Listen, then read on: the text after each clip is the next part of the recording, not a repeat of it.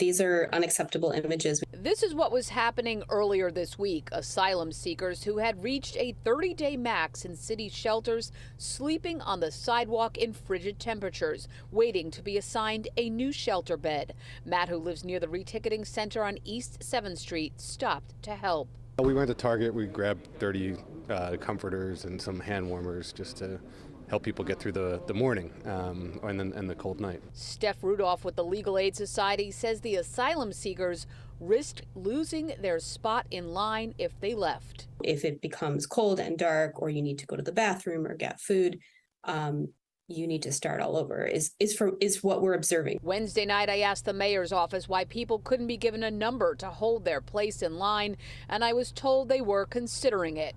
Thursday night, the Legal Aid Society told me the city is now handing out numbers, so no one has to stay here round the clock.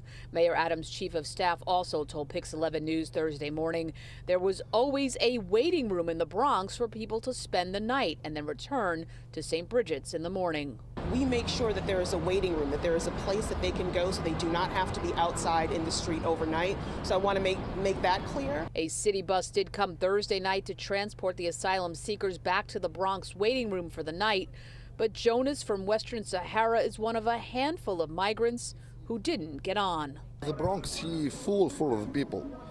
She, there, are, there are a lot of people in the Bronx. Nobody can uh, sleep there. This is why the people sleep here.